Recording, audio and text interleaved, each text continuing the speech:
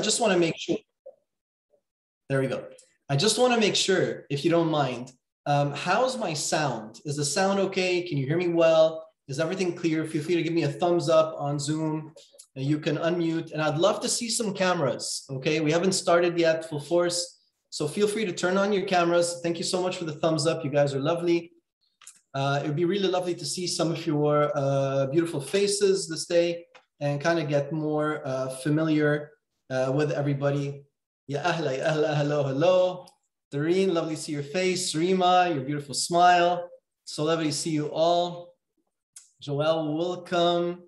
Uh, Emmanuel, welcome. Madhav, welcome. I hope I'm pronouncing your names properly. Soham, of course, a member of CTA.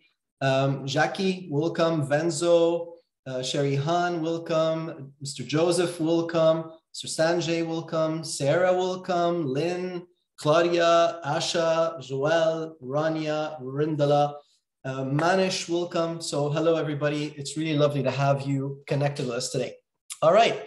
I think um, as we continue to move forward, there's going to be some individuals who are joining, but I think we've got a, a nice, beautiful group to start off with.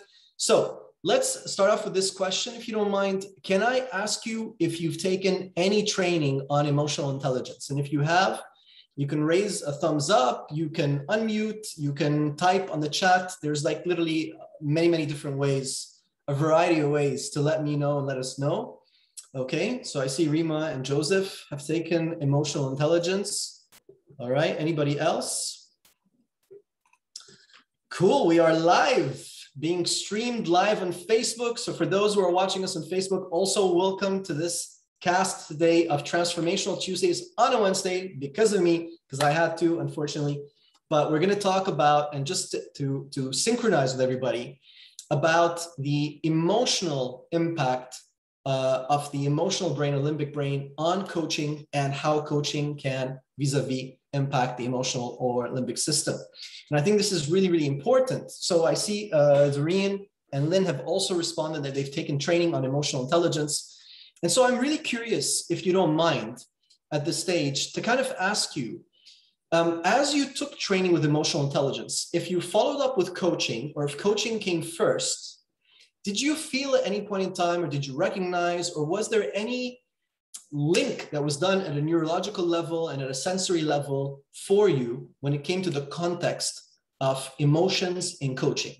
What would you say the relationship is between emotions in coaching? And if you'd like to answer, please raise your hand. Let's keep the uh, Zoom uh, call organized, and I'll be more than happy to pass over the torch for you to have a chit chat. Would anyone like to share? Even if your camera's not on, you can unmute and let me know your thoughts. Let us know your thoughts.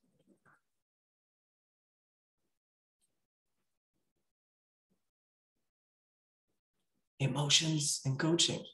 It's not a test okay, let me do this because there, obviously we got to warm up the, the session today.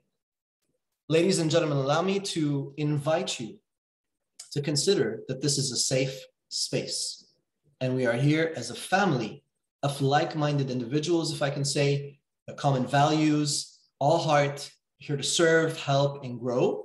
And so there should be no fear of us exploring, even if we don't have a wrong or right answer, and I'm afraid to use the terms wrong and right. I would say maybe what's right for me so far and what we can reflect upon.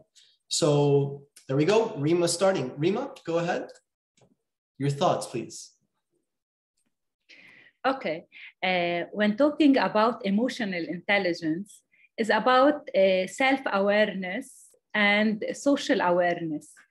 Uh, when coaching, uh, the self-awareness is very important for, uh, for the coach and the coachee.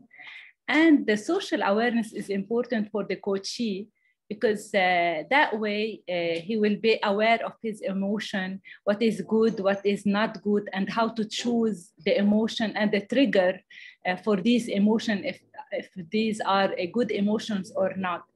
So uh, this is, I think, the link between the emotional intelligence when we are, we are aware of our emotion and the social uh, emotion and uh, how to reflect our, our, or how to help the coachee to be aware also about his emotion. Because at the end the coachee is uh, when when uh, choosing or when finding his uh, way or his uh, solution or his goal Yeah. so uh, he should be aware or he or she should be aware of his emotion so uh, i think uh, this is it Thank you. That's actually a very interesting perspective to consider, and uh, I, I'm sure that um, that I, I will get back to you, Emmanuel, in just one second. I'm sure that when we consider uh, having the ability to have a greater social awareness and a greater emotional awareness, and maybe even emotional regulation or management of our emotions in a healthy way that serves us best, that's definitely going to um, add a lot of value uh, to the individual who is being coached because they chose to be coached. Um, I would like to hear from someone else too. Thank you, Rima. Who else would like to kind of uh, share? And uh, Emmanuel, you were telling me uh, my uh, well, I can't tell is about okay. So you've written emotional intelligence is about knowing or being aware of your emotions. Okay. So I see that that complements what uh, Rima has been saying. Coach Rima has been telling us, and uh, Asha saying being you, knowing you, and understanding you while connecting with others' emotions. So interesting. So there's a lot of internal self-reflection, a lot of uh, self-awareness, a lot of self-understanding. That's beautiful. Who else would like to share? Maybe uh, an expanded perspective of this. Let's keep building on that momentum for a little bit before we get into what I'm going to talk about. Would any other coach like to? And, and for me, you're all coaches. We're all born coaches, and we just discover that innate ability that's within us to connect with others at a deepest level where it's non judgmental, loving, caring, supporting, and absolute incredible presence. So I'll shut up. Who else would like to share? Sharihan, please go ahead. I think your perspective is also going to be very interesting considering that you are also a psychologist, if I remember. Is that correct? Yes. Uh, hi, Joan. Hi, everyone. Uh, I uh, just want to talk about emotional intelligence. Uh, it's uh, about understand, use, or manage uh, our feeling. Mm-hmm. it um, it helps us to be more connected to our feeling and make um, uh, stronger uh, relationships in our school, uh, in our work, uh, family, uh, friends. Um, sometimes people um, have uh, conflicts between themselves and the community, society, or others they uh, when we aware uh, of our uh, emotions so we will uh, be more uh, forgivable uh, live in peace mm. so all most of problems came from the conflict and stress depression uh, they uh, could she go to coaches to uh, talk about their problems uh, mm-hmm. in these issues so uh, coaches uh, help them to be more um, um aware of the of their feeling mm-hmm. then they live in peace and have stable decisions and um, the behavior will be stable also. So uh, they will be um, live uh, they will live in um, better life. Okay thank you very much for that uh, and I, I, really appreciate the effort uh, that you're putting and moving from Arabic to English. I'm really enjoying that. Yes, I'm Egyptian and talking in English. It's so our, you're doing a great job. It's not our native uh, language. Don't worry, you're doing wonderful. Thank you so much, Sharihan, for that. I'll move on to Doreen. Doreen, what would you like to share with us? And just to kind of let the people who just joined uh, know what we're talking about. So today we're focusing on the impact of coaching on the emotional or limbic brain and vice versa within the context of a coaching session, because I want to share with you uh, whatever perspective tools and methodologies that will empower you as a coach to empower the coachee within the context of our emotions, the language of emotion. So um, I'm also going to take a look. I've seen uh, being, yep. All right. So Doreen, the floor is yours. Please go ahead and share with us your Thank insight. you, John. Uh, it's about uh, understanding the coachee's emotions and connecting with, with your Mm. coachee. And it's related to the reptilian and limbic brain, Mhm. uh, how you understand uh, his emotions uh, and the way to coach him uh, in order to, to move to the uh, prefrontal cortex brain. Nice. So uh, we're getting a little technical here, which is amazing. And I just want to make sure that everyone has an idea of what that means. So there is a concept of the triune brain, which is three parts generally, which is our reptilian brain here at the bottom, which is uh, which is pretty much in charge of our survival. Then the limbic system somewhere around the middle, which includes the hypothalamus um, uh, and, and many aspects like the amygdala and so forth. And then we're talking about the front part of the brain, which is the prefrontal cortex, which is the seat supposedly of logic. Now, usually when we talk about these three brains, and Doreen, thank you so much for your input. If you'd like, you can uh, lower your hand. Um, what tends to happen is sometimes as coaches and coaches, we tend to make a, a very logical mistake of assuming that these three parts are completely disconnected from each other or separate from each other, but in fact, they're not. The brain is very holographic. Everything is intertwined with everything else. And yet, on a software level, to some extent, these brains do function a little bit differently. What I'd like to do is kind of step back from the science a little bit and simplify, and then dive into the science to understand what's going on, and then step back out and simplify. Because real connections between a human and a human are always simple. And the simpler and cleaner they are, the more real they tend to be, it seems. Of course, if you have a different opinion, that's completely okay, and you can share that with me. So, allow me to illustrate um, some of these ideas through a series of questions. And if you don't mind, I'd like to invite you into a breakout room for a very short session, just two to three minutes. Really, let's call it a laser session, where uh, you as coaches can have a quick conversation and like um, Dr. Harris and other great coaches like to say, and kind of bottom line, what it really means to coach someone and how we deal with coaching them when they are going through a certain emotional state.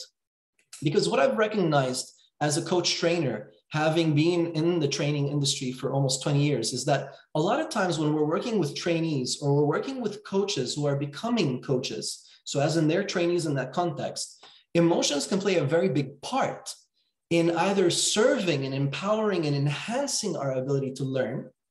And the, the function of learning really comes from awareness, right? Increasing awareness and understanding and perspective. And emotions can also play a very big role in being a barrier to us learning and raising awareness and understanding. So I've noticed many times that a lot of coaches are so passionate about following models like the A4 model, the GROW model, Oscar model, laser model, so forth, and so, so many. We have so many models, which are incredible, at the expense of understanding the state. In an Arabic, we say hale, Uh, just to make sure that we have a, a, a diverse understanding, okay? The state that we're in, both emotionally, mentally, and physically. So, how is the coachee showing up to the session? Many times in, in our programs, as we learn and we, we move from ACC to PCC to MCC, we ask ourselves, and we focus very much on the idea of us as coaches being in a state of awareness. It's one of ICF's competencies, how we show up to the coaching experience. What kind of connection do we offer the coachee within that moment? How are we perceiving? How are we relating to? What kind of space are we creating between us and the coachee? What little details are we paying attention to where the meaning is, you know, twined into the context of what that coachee is communicating, male or female? Because I just think of all coachees as a neutral person because I look at their soul. I'm interested in understanding their thought process. I'm interested in understanding their reality, their map. And so for me, it's irrelevant if it's a his or her. It's more relevant to understand what they want. And so, from this perspective, as we think about that, have you ever, as coaches, started off a coaching session where you felt that your coachee was ready for coaching and discovered quite quickly within the first 30 seconds to a minute that they actually weren't? And you started facing some resistance because as you were trying to ask them to become aware of what they wanted to do so that you could create a solid agreement, it became hard for them to do that. They just weren't being able to tap in to their center of awareness and understanding like they're usually used to. So, what's going on there? How do we deal with a situation like this without stepping into the zone where we become dominant? Because we have to be equal at all times with the coachee, right? To, to build the deepest level of trust in order to move forward in parallel, coaches never move into a dominant position. And so if I step into a dominant position, say, John, talking to myself as a coachee, I'd like to invite you to relax. Take a deep breath now. Do this exercise. This is going to help you relax. You've taken control. And then if you're passive, you also face a challenge. Because if you lay back and you just give them too much space, maybe they don't want to shift out of the comfort zone they're in. And sometimes pain and emotions, even if they are a barrier, are a box people are comfortable staying in. So it can be a trap. So I'd like to invite you into a breakout room. I'm going to create them right now. Give me a few seconds. There we go. Um, you will be roughly three to four participants in the room. Actually, I'm going to make it two and three. So you have enough time. And I'm really going to challenge you uh, because we are streaming live. And I want to give everyone who's watching live also an opportunity to connect and relate to this. So for those who are watching live on Facebook, for those of you who are watching live on, on YouTube, and for those of you who are currently in the session, I'd like to challenge you to reflect on this together in three minutes. Try to bottom line your communication as coaches. And think about what can we do? This is the question. As coaches, to ensure that our coachee shifts to the most optimal state emotionally in order for us to move forward with a powerful and impactful coaching session from their perspective, of course. Ready? Here we go. Your rooms are open. It is now at 50, so you have till 53. I might extend 30 seconds. Please jump into the rooms. Don't take too much time. And let's discover and reflect on this because I think it's going to serve you greatly um, if you haven't discovered this. And if you have, then you have the ability to serve others greatly too. For those who are watching on Facebook right now, live as we stream, we're going to jump into this experience for just three minutes. So feel free to grab a coffee um, and maybe grab a pen and paper and write down your thoughts as you're thinking about this too, if this is valid for you, and reflect on this. What can you do as a coachee, as a coach, to, you know, enhance your coachee's capacity to tap into their most resourceful state, targeting their emotions. And if you're the coachee and you've ever been coached, have you ever recognized that sometimes you step into the coaching experience, but you're either nervous or uncomfortable or stressed out or tired or uh, exhausted or concerned or confused, right? These are all emotions and side effects of emotions. So I'll give you two minutes with your permission, and we'll be back. I'm going to turn off my cam, and for two minutes, we'll give everyone an opportunity to reflect, and we'll be back to discuss this. Here we go.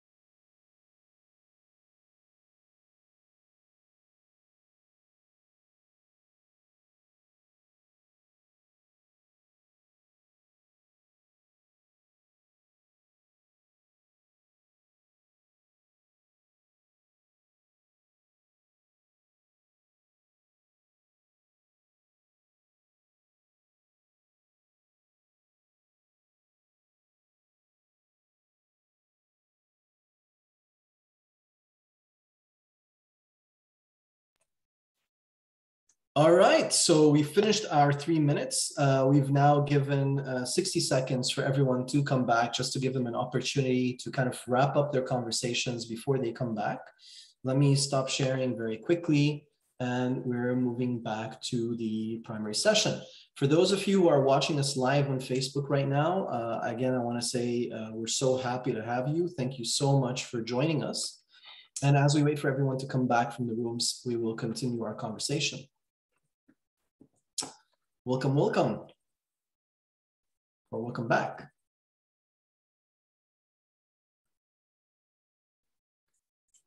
All right, I think it'll just be a matter of 13 seconds that everybody comes back.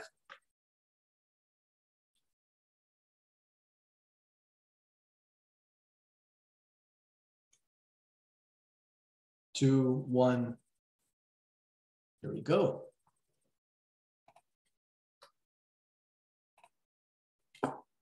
Welcome back, everybody.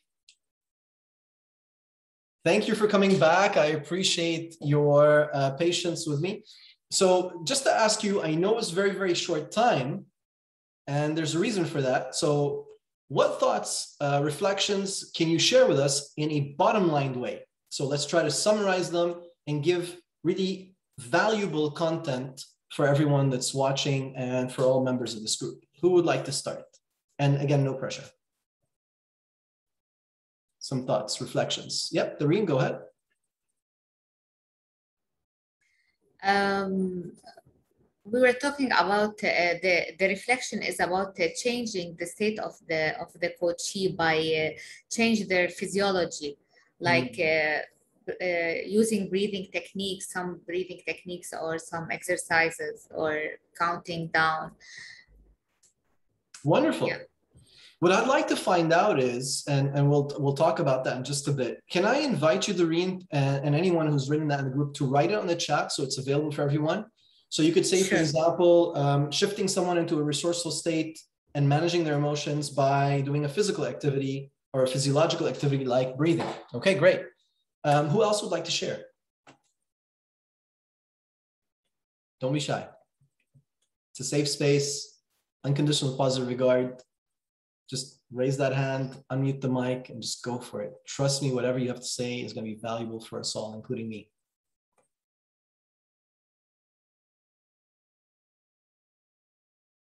Some quiet people here. You can you can write in the chat too.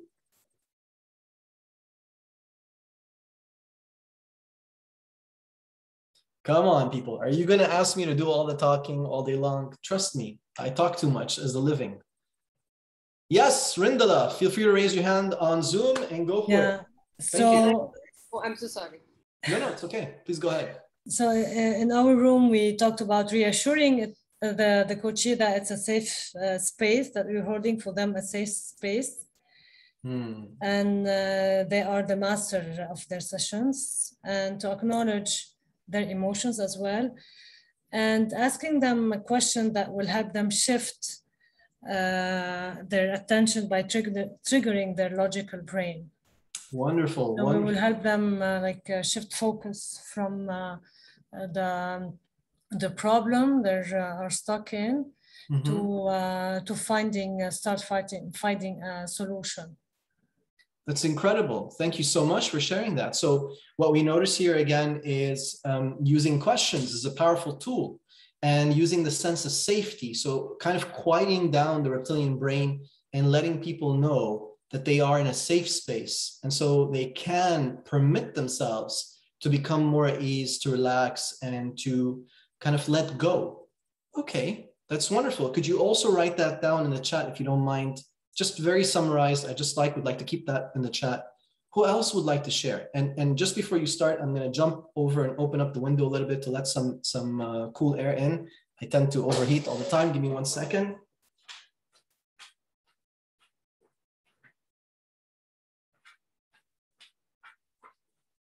All right, because I get very excited when I do these sessions. okay, what else? Okay, so good yes. evening, good morning, good afternoon, Hi. I this is Anubha from India. So I and Jackie uh, shared the breakout room together, and we introspected that we both do corporate uh, coaching. Mm. And mostly we have observed in the corporates, most, uh, you know, the people, the coachee comes with the task orientation rather than the relationship orientation. So yes. there the emotional bent has not been seen. But some coachee, we find that they don't open up and they are in their own cocoon, they're in their own uh, zone and they don't open up. So we just thought that uh, what we do is usually probably we put our story to them and we give them the comfort that they are in a right zone. So this is what we hmm. discussed. Mm. That's such a valuable input. Thank you so much for sharing that because from the perspective of uh, corporate coaching and business coaching and even executive coaching, sometimes we tend to uh, feel that there isn't much of a reason from a coachee's perspective for them to really address emotions because they tend to be more task oriented or process oriented or project oriented or objective oriented or whatever it is. But in retrospect, let's think about this for a few seconds. If you don't mind me kind of suggesting something, where does motivation come from? Or let's call it drive. Could you just repeat this question? Yes, of course. Where would you say motivation comes from or drive? So if we're, if I, and allow me, please, please correct me because I don't want to be making assumptions. Within the context of business coaching and corporate coaching, as you're coaching your coachees, what's usually the, the general agreement or the scope of the general agreement? What tends to show up a lot? So an objective, getting towards a yes. certain outcome. So basically, it's mostly into the objective, the mm-hmm. strategic goal, or the you know the sometimes the mission, and sometimes uh, going very strategic alignment, uh, or maybe even sometimes performance oriented. So this is Absolutely. where we have observed. So we've got KPIs, we've got performance, we've got results, Absolutely. we've got um, maybe uh, a wide vision of thinking, seeing the big picture, and then looking at the tiny details, because that's what a mission vision is. It's a big picture of something we are driven to do, right?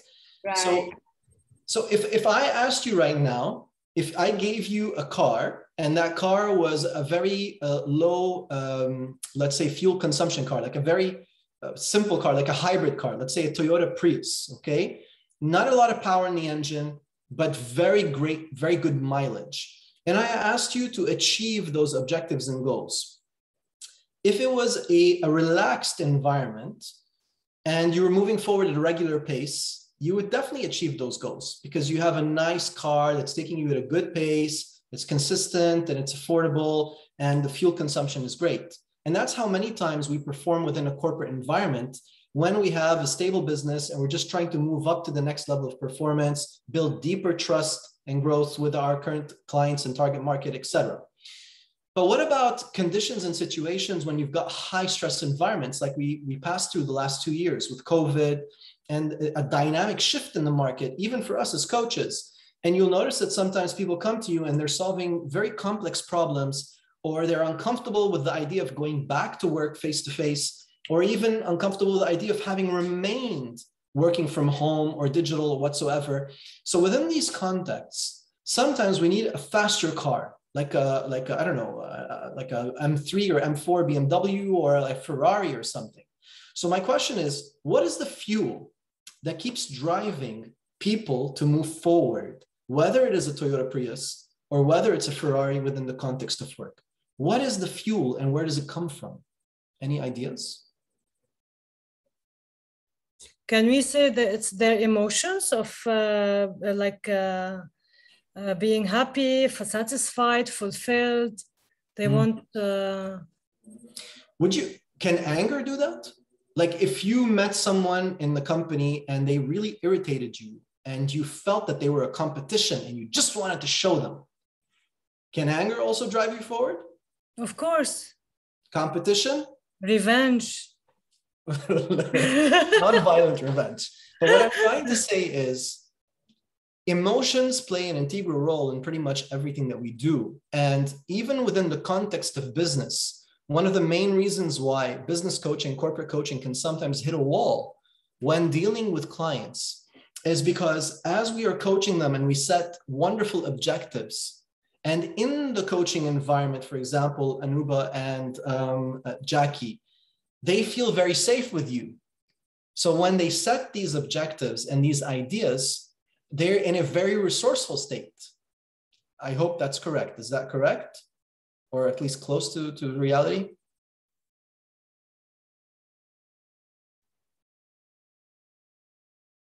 Yep. Okay. Have you faced any challenges with them? For example, after you have a fantastic coaching session, they'll come back to you and you'll find that when they try to apply their objectives or ideas or thoughts, it wasn't as easy as it seemed in the coaching session. I'm just curious, and this has no reflection on your coaching capacity. I'm just trying to highlight a different perspective for everybody here because it's so lovely to have the ability to look at it also from a business coaching perspective. Uh, indeed, it has happened a lot of times uh, yeah. recently when we were doing a project of 560 hours of coaching. We had great sets of examples here. So I can actually relate the question which you just thrown to us. So yeah, it has happened.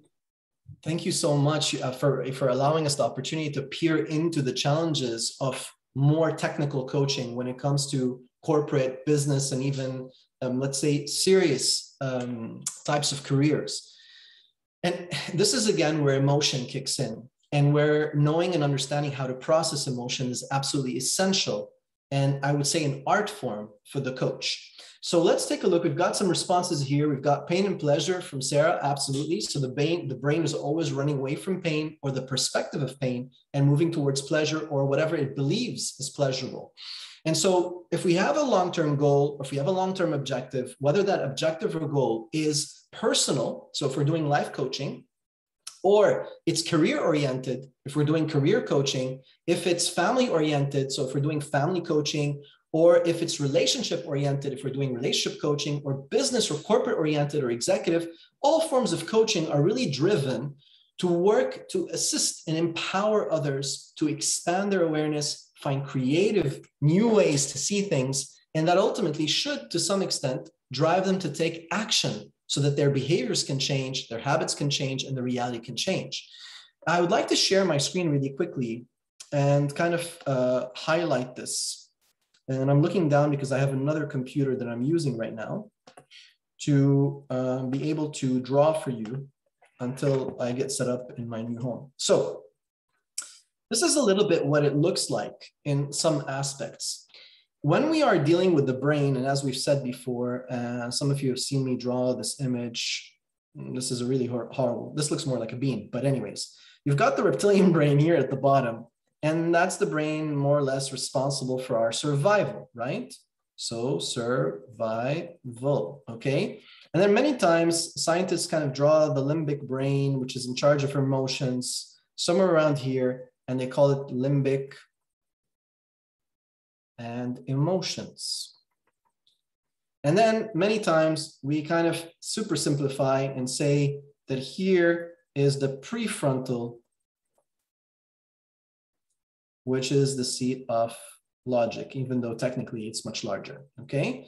Now, in many aspects, what tends to happen is as we step into a coaching experience and our coachee sits down with us and we're about to start our conversation, and especially if we had a fantastic coaching session before, we're surprised to find that the coachee is not as open, as communicative, as cooperative, and as easy to deal with as they were in previous sessions. Or sometimes we feel like they're just off, they're just something not okay with the situation. And one of the things that I've noticed that tends to most uh, mostly displace a coach's sense of certainty is when the coachee is angry. Okay. So what you'll notice is that the coachee steps into the coaching experience and you ask them a question and they talk to you from a place of very deep pain. And usually surrounding that deep pain, the topic is some anger, some guilt, maybe some fear, uh, maybe a sense of uh, lack of, let me move this, uh, fairness. So they don't feel things are fair. Um, if you've seen David Rock's model of SCARF, which is one of my favorite, um, a lack of autonomy, the ability for them to make their own decisions, a lack of relatedness, like he says, which is not feeling comfortable with the environment they're in or the people they're interacting with. Maybe they don't feel they don't belong or that they're not appreciated or cared for or loved or respected or whatever it is. Okay, you've got uh, maybe a sense of certainty. And so people need that sometimes to feel that they understand what's going to happen in the future, whether in the near future or in the distant future. What, how is it going to affect their reality in general? Are they going to be able to deal with the challenges that are, are going to happen or come their way? Uh, will they have the power and ability to do that? Can they trust themselves in this situation? To be able to deal with that situation as best as possible? Absolutely, Sharihan, yes. Uh, stress, disappointing, exactly. You've got also maybe sometimes, so we said autonomy, relatedness, fairness, uh, certainty, and pretty much uh, a lot more things like this. So, what happens in the state? Anytime we get a sense that we're not in control of our environment, anytime we get a sense that people are treating us with some, let's say, dominance, right? And it almost makes us feel like we are less than they are, or we believe that that's the way we're being treated. Anytime we are, our, our, our environment is shook, and sometimes I like to call these pillars. So you've got these pillars on which the building is built, the really old buildings, right? So you have here the, the roof and here the bottom, which is the base and foundation. And these pillars can be family. It looks kind of like the wheel of life. They can be work, they can be health, etc. So it doesn't always mean that the challenge that's shaking a person's emotional stability is necessarily an internal challenge, a psychological one based at the level of their software but it can sometimes be an external one. So this is more, let's say, an internal understanding. And this is more of an external stimuli. And what that means is, let's say you're the coachee, you're pretty happy, everything's going great, you're excited to go to your session with uh, Anuba, or I hope I pronounced your name properly, or um, let's say Rindala or any other coach. And on your way there, as you're waiting in traffic, someone just rear ends you, just slams into your car. You're shook, your neck snaps, you're in pain, you get angry, suddenly your heart's beating very fast. You, you know, you snap out of this calm, relaxed state that you're going into. You get out of the car and you're just checking on the person because you're empathetic, you're caring, and suddenly that person starts shouting at you and blaming you, even though they're the people who, who crashed into you and they were on their phone and you you break into a big fight. Uh, once you're done you get in your car you arrive to wherever you are to have your coaching session. As you're getting out of the car the rear bumper just drops to the floor. And now you're stuck in a situation where the rear bumper is on the ground. You have to pick it up. You're going to get your hands dirty and you're about to go in a coaching session. What kind of emotional mental psychological physical state is that coachee going to have and be in when they are showing up to the coaching experience?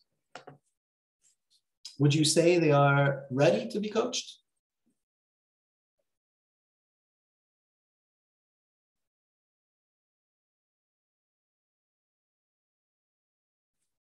I would really love some responses. I'd like to hear from some uh, people. Definitely not.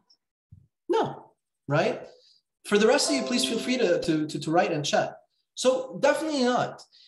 Let's not take it that far. Let's say um, some of some of us here are Lebanese, and in Lebanon, I don't know if you've been following up in the news, but we've had two years of some very, very, very difficult challenges from the August 4th explosion, and consistently now uh, with the crisis that's happening, economic and social in Lebanon, as in other countries, um, Sharihan, sure, I will repeat the question in a second. You will notice that people are having um, these little problems, but on a daily basis, which is slowly eating away at their sense of certainty, right? So if you live in a country right now that's being plagued by COVID, for example, India went through a very difficult time and still is, but much, much worse. Let's say uh, about six, seven months ago, with the Delta variant uh, going crazy in the country. Other countries in Europe have faced similar challenges, in the US, the same. So, what you've noticed is with all these changes fundamentally that are happening, people can be affected by an instant problem, like a car crash, before coming into the session, or the, a conversation with the wife or husband, or a, a problem at school or work, losing your job, losing an account, or a long term problem, which is slowly stressing us out as time goes by, and we're still not finding a good solution. The short term is quite easy to manage. The long term tends to be much harder because the long term can slowly degrade people's state of mind. And you, the coachee arrives to the session very much at the, the, the stepping stone, the fence between where they could use therapy and you can still coach them. And I think this can be very confusing for coaches sometimes. So, what I'd like to do is highlight just something small. When we're dealing with the emotional brain, and when we're dealing with people's emotions, sometimes it's not enough to let them know that they're in a safe space. So, one of the tools that you recommended was to invite them to do a breathing technique. Other tools were to have a conversation and remind them that they can turn off everything that's happening outside of themselves and maybe step into the coaching session in, in a resourceful state. What if the coachee couldn't? What if they wanted to? And they're trying to step into a resourceful state or shift into a resourceful state or melt into a resourceful state, but they're not being able to. What kind of emotions could arise for them?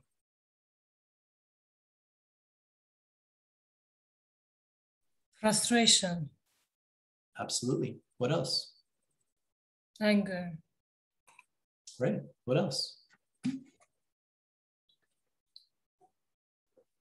Sadness, helplessness, right? Because they're not able to, they know that they have to, but they're they just can't. Mm. And guilt. And guilt, yes. Guilty towards you. I can't tell you how many times I've built fantastic relationships with coachees. And um, we've really respected and honored each other and honored each other's time. And many times they step into the session and you feel like they're, they're having a challenge of shifting into a resourceful state. And then they're frustrated. They get into a cyclical loop where they want to have answers, but they're angry at themselves for not having answers and becomes quite judgmental. There's this internal dialogue that kicks in in their mind and if you've taken transactional analysis, you'll notice that the inner child and the parent come in and they start hearing these voices talking to themselves about what they're doing right and what they're doing wrong. And all this is happening is a lot of noise, which is disconnecting them from their connection with themselves and their connection with you. And so over the last three to four months, I've gotten a lot of uh, communication from our uh, coach students and, and many other coaches telling me, how do you deal with a situation like this? And this is why I wanted to uh, create this conversation, this session, to kind of elaborate uh, on the methods that we can do or use to work with these coachees in these uh, sensitive and critical times for them. Because if you can work with them during those times, pretty much everything else becomes smooth sailing. Because when they're resourceful, they're resourceful. So let's take a look. Emmanuel, thank you. You said you need to observe the psychological state of the client before start of the session and therefore create the necessary balance. Great. This is exactly what I'm looking for. We all know what we need to do. The question is, how do you do it in a way that maintains the integrity of the coachee and their sense of absolute certainty that they can because if you talk to them about accomplishing great things that they've set as an agreement, and they can't even manage their emotional state right now to be focused with you, don't you think their brain is going to create a conflict? They won't believe themselves. So even when they say something that's right, emotionally they're not sensing it. And then there isn't that connection where people will be driven to do what they told they said they could do. So for example, if I was coaching Rindala right now, and I'm having a conversation with Rindala, and Rindala is stressed out. And just like Emmanuel was saying, I noticed that she's in a unresourceful psychological state for her, based on what I've recognized so far. And we had this conversation. I said, Rindala, hey, how are you? I, I get the sense that um, you you're a little more tense than usual. Is that correct? Can you tell me? Would you mind sharing with me what's going on? With the sincerest intention, of course, assuming that we've built that level of openness, candor, and respect. And in this case, Rindala might step in and say, well, you know, uh, it's been a tough day, or it's been a tough month, or it's been a tough year, or just today, you know, John, usually I'm happy, but I'm just not feeling it today. John? Yes. Can I share one example here? Exactly yeah. the same thing happened. So the way you were communicating right now with Rindala. So, uh, you know, with me, it was my second session with the coachee, and I exactly said the same thing. So I don't see you in a stride. What has happened? He just told me one thing that, ma'am, I lost my both parents, mom and dad, a week back because of COVID. Oh my God, I can't tell you. I could relate everything, whatever you have said right now. So it was pretty tough, but then yes, it was. It turned out to be a very good coaching session. He uh, introspected, he understood, and I can actually relate this element of what you mentioned right now. You know, which is pain to pleasure. So it's all in our hand. So thank you so much for that. It's my pleasure. It is. It is all in our hand because and here's a, a simple example to illustrate this. Uh, a couple of months ago, uh, a dear, dear friend of mine from university, I mean, we've known each other for 25 years. Um, he had lost his mother and his father over a period of a year. And now he only had his grandmother. And he's, in, he's, he's my age, he's around 40. He has two children, he's married, has a lovely wife, beautiful family. But he's very connected to family. And his grandmother is the last connection to the elders of his family. There's no one left then he becomes the elder. And so um, we were having a conversation and he was telling me, you know, my grandma's not doing very well. And I said, you know, I, I wish her all the health and I wish she, she, she gets better. I left and the next morning uh, I got a message from him, text saying, uh, unfortunately, she's passed. What do people tend to do usually in this case? Like in a full, you know, this depends, of course, on the culture and the, the countries we come from. There's many different practices. But in general, if you would say, what's the first thing relatives and people close to others who don't always see them tend to do? What's the first question they ask? Or at least in the first two, three questions they ask. Any ideas?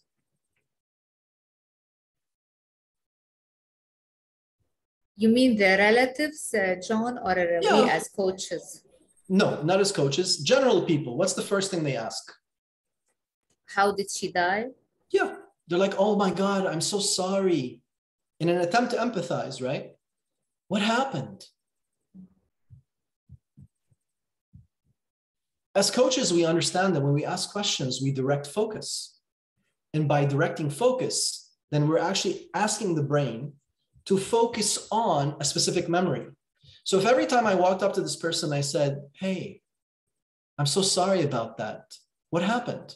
What am I asking their brain to do? To relive that memory? Yes or no? They're replaying that memory or parts of it in order to express to me. Well, if you're trying to decrease someone's pain and you're asking them to relive the memory 50 times, as everyone is telling them the same day, I hope everything's okay. And they keep repeating that story to themselves 50 times. And they repeat it with emotion because it's emotionally charged. What do you think we're actually doing to that person's reality? Are we serving them or hurting them? We're hurting. Hurting. Focus on the pain. Absolutely. So here's an interesting thing. What do coaches do in general? Because we might face that with our client 20 times a week. We might have a week in which 10 clients are having challenges. Apart from protecting myself as a coach, I have to have a tactical way to deal with this that is healthy for me and healthy for others, especially when you build strong, meaningful relationships with your coachees. Because you're partnering with them. That's like marriage. It is a very interesting one. You get married during the coaching session and then you disconnect. And I'm talking here about purely the essence of being truly present. And so, in this perspective, many times we might say to the coachee, Hey, I've noticed you're, you're not yourself.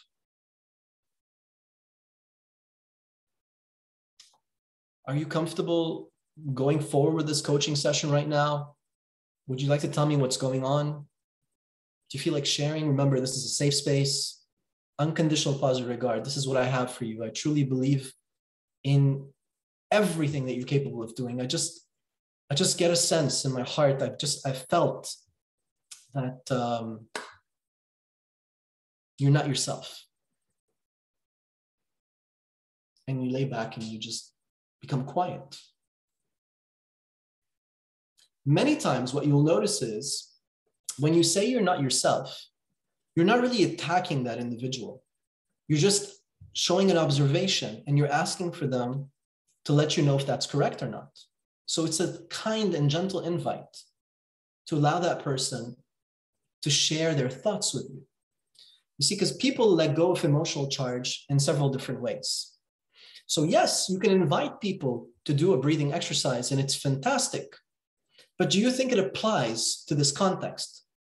So if my friend wanted me to coach them and their grandmother had just passed away and they were feeling very upset and they just wanted to, to have a session in which they could process their emotions prior to uh, going back and dealing with their children and the family and everything else. And that was the agreement they wanted. If I said to this person, Hi, okay, I've noticed you're on yourself. Let's do some breathing. Let's just do some relaxation exercises. I'm, I'm making this silly a little bit, but I just want to point out, do you think it would work?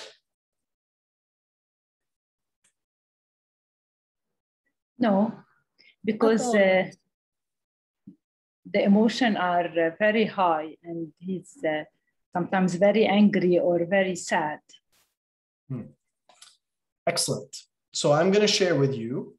Uh, is this interesting for everybody? A lot of people are quiet. I'm not used to that. If it is interesting to you, please give me thumbs up on Zoom. I just want to make sure that we're still on the same page. Uh, Joseph, thank you for that. Just want to check with everyone. Claudia, oh yes, okay. But you're very, very quiet and I, I need to sense you. Jackie, okay. Um, just making sure everybody else is okay with this. I mean, you're still here, so that's good news. All right. Thank you, thank you, thank you, thank you. Let me share with you a couple of tactics that you could use um, at least that I've, I've used, that have been very, very helpful for me.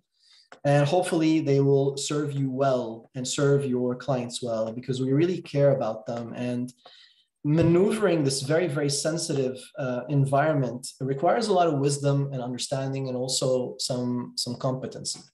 So let's take a look at this really quickly. Now, if you remember in the reptilian brain, for, for those of you who have taken uh, training on um, uh, neurointegrative coaching with me before, we've got three responses. We've got fear, okay, which is uh, turned into a flight response, which means I'm running away from or trying to avoid a situation.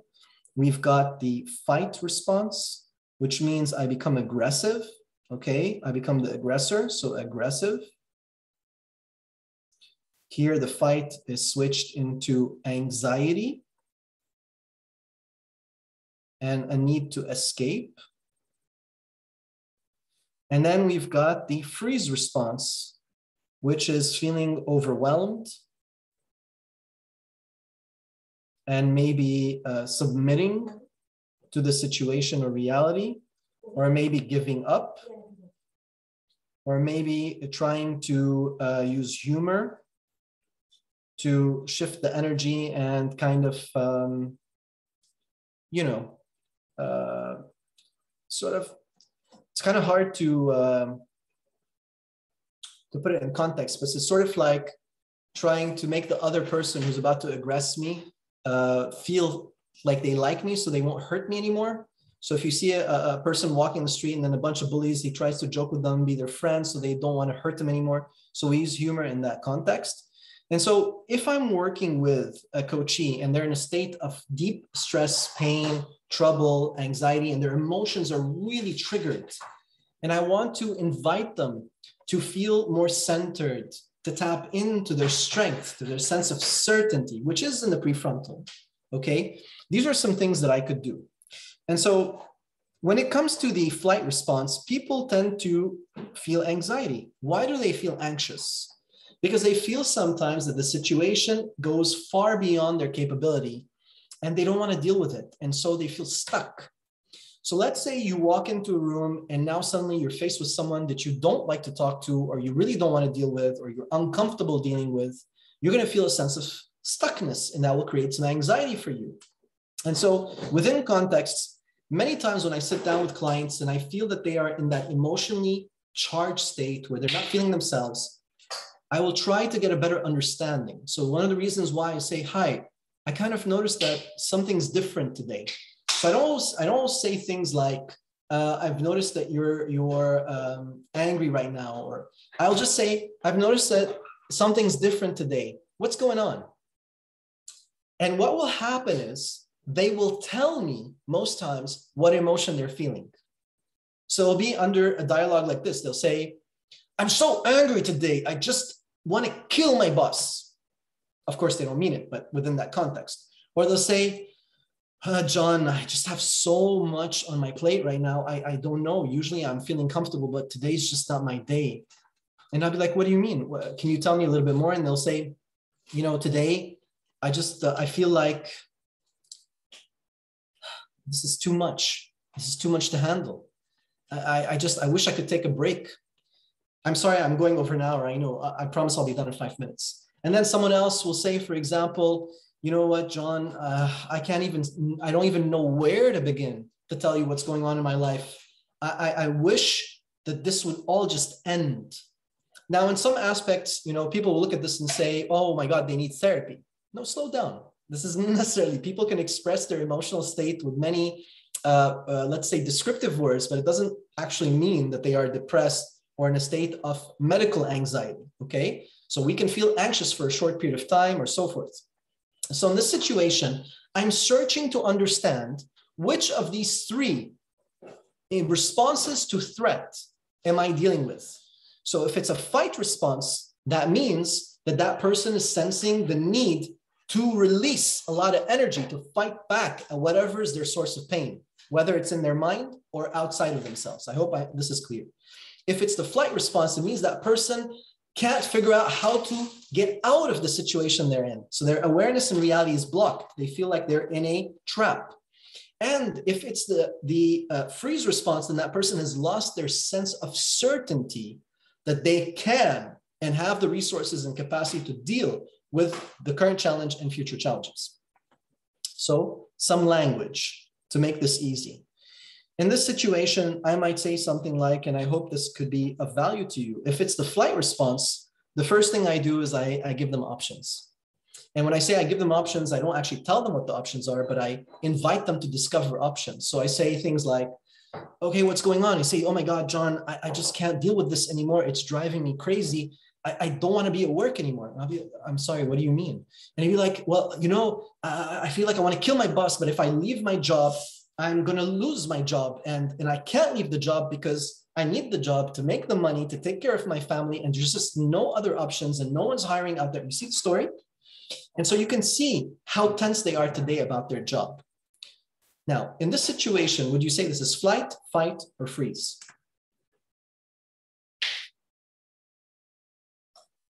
I'm hoping I hear from you. I'm going to open up the chat. Fight, flight, or freeze? Flight. Perfect. Flight.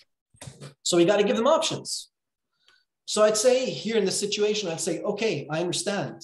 So let me repeat back to you what you just said to me. See the mirror? And I would say, so what I understood from you is right now you're so fed up, you'd love to leave your job, but you can't because you have responsibilities. Your boss is causing you a problem or is a source of pain that you have. And at this stage, you feel kind of like you don't have choices or options, which are what they said to me. And they'll be like, yes, that's exactly it. So then I know we've connected. What happens here? By addressing and saying back to them what is hurting them through their own language, instantly the reptilian brain shuts off. And they shift to a more resourceful state, not completely, but partially because they feel heard, they feel understood, they feel like someone has gotten them. And so suddenly their world is not made of one person, which is them, but now of two. And the coach is now invited into the space of pain of the coachee. And you can now work together to figure out how to deal with that awareness. I hope this is interesting. If it is, feel free to give me visual at least or try to type it. From there, when I share this with them, and I say, well, would it be okay for us before we start our coaching session to kind of discover and, and maybe explore that a little bit, just a little bit? And the reason why I do that is if I spend five minutes invested in exploring with the client their pain, many times we end up at an agreement before the coaching session even starts. So I don't start my coaching session personally before I work with the client to shift them into a resourceful state.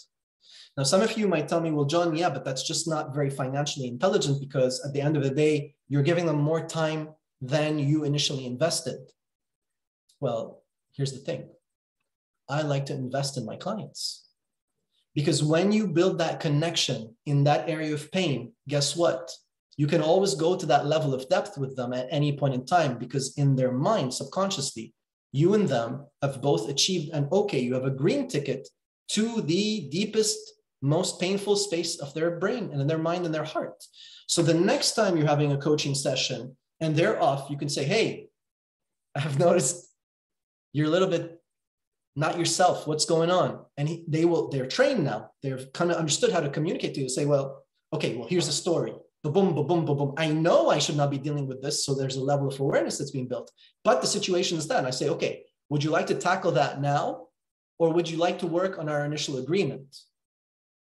And they'll say, no, no, let's work on our initial agreement. So what has happened is you have empowered your coachee to be able to compartmentalize and separate challenges from the coaching session. The coaching session has become of the greatest value for them because now through reoccurring practice, they know that when they're in a coaching session, they are able to shut off everything that's going outside and focus purely on themselves and work with you towards fruitful solutions.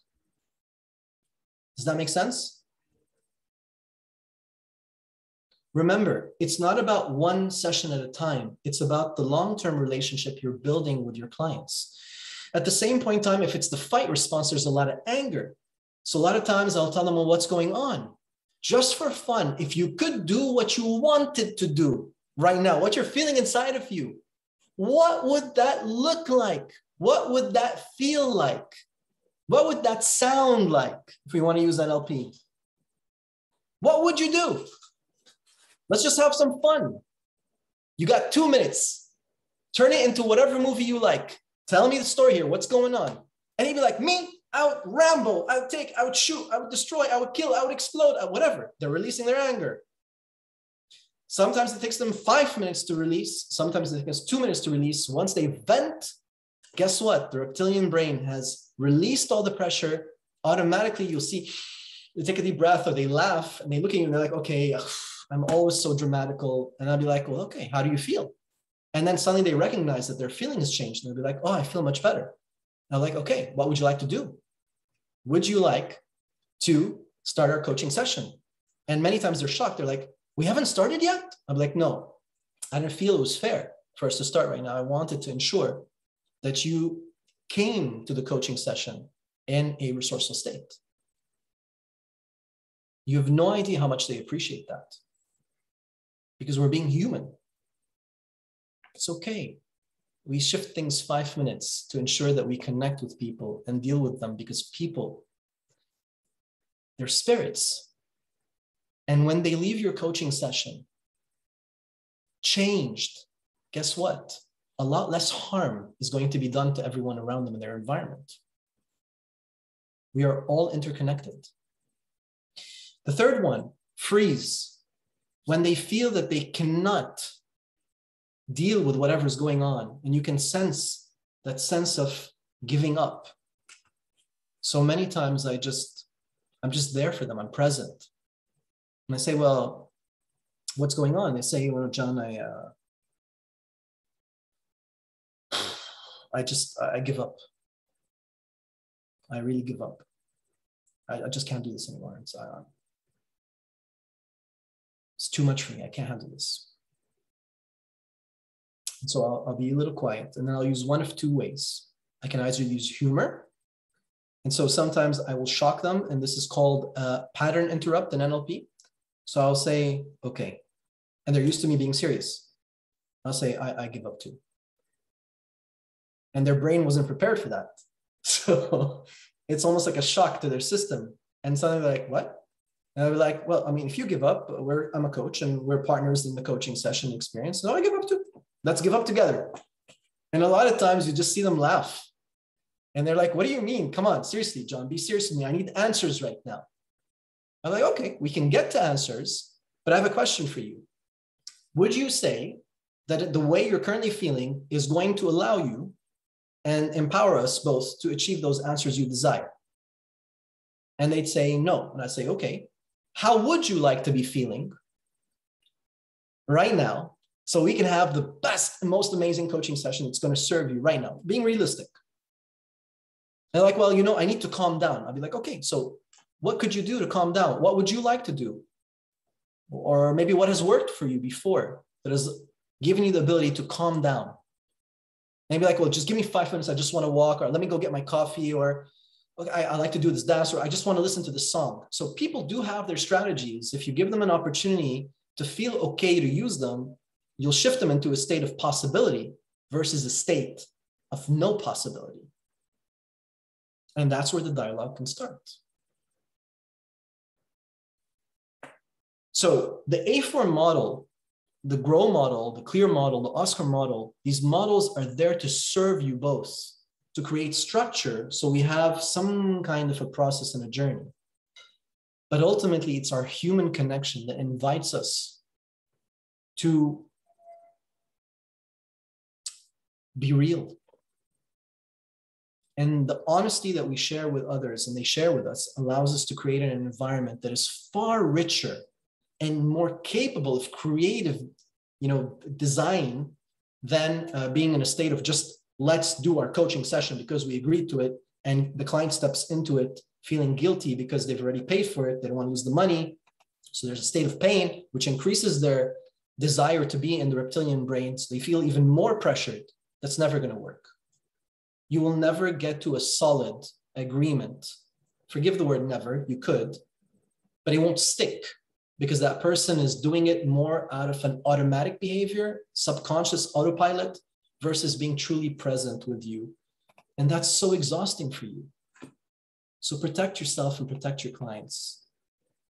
And just recognize emotions are the greatest gift and the worst whip or tool. And we've got to learn how to flip that side. Okay, I took a lot of your time. Thank you for the amazing session. Sorry, I need to exit. Absolutely. Thank you. That was excellent. My pleasure. Hi, John. I must say this is a great session. Thanks for this presentation. My absolute pleasure. Need more of these sessions with you, John. Thank you, John. It's my absolute pleasure. My objective and our objective at CTA is always to serve you. I learn with you as much as you learn with me, or even more.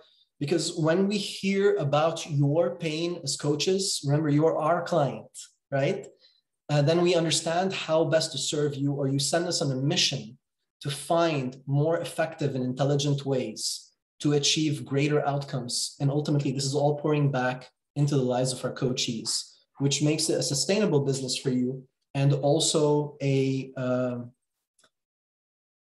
a human mission where we change the world, not just through what we do, but through the impact of our love and our work for others. And that always propagates into the world around us. So be brave and, and, and try, experiment. Thank you so much, guys. I wish you a beautiful day. I took a lot of time for those watching on Facebook. Thank you for staying with us for this live. For those watching this on YouTube as a recorded session. I hope you found this to be valuable. You can always reach out to any one of us from CTA. We're here to serve you. For all you beautiful coaches, you are our wealth and inspiration. Please feel free to always reach out to us with topics you want and ideas that you have, and we're here to serve you. Thank you so much for allowing me the grace of changing the scheduling for the session. I put you through so much trouble. It won't happen again. Wish you a beautiful day. God bless you. Take care. Thank and see you. you in the near future. Thank you, John. Thank you. Bye-bye. Bye. Thank you, by the way, to Nick and everyone at CTA and Soham who are always supporting us. By the way, I keep forgetting, but these are the people who work very hard in the background to make sure that our lives are easy and organized. So great thanks to them too. Bye-bye, everyone. God bless you. Take care.